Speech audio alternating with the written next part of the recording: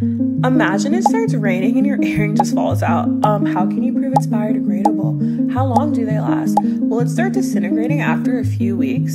These are all valid questions as this is a newer material. Welcome to What in the Bioplastic. If you're new here, we're Mona Gems and we make sustainability cute and fun with our very fashionable bioplastic accessories.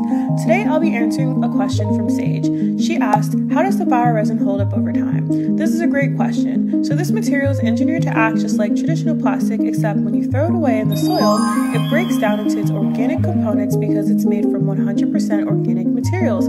It's even safe enough for human consumption, although I wouldn't recommend. Also, we have prototypes from years ago that are still intact to this day.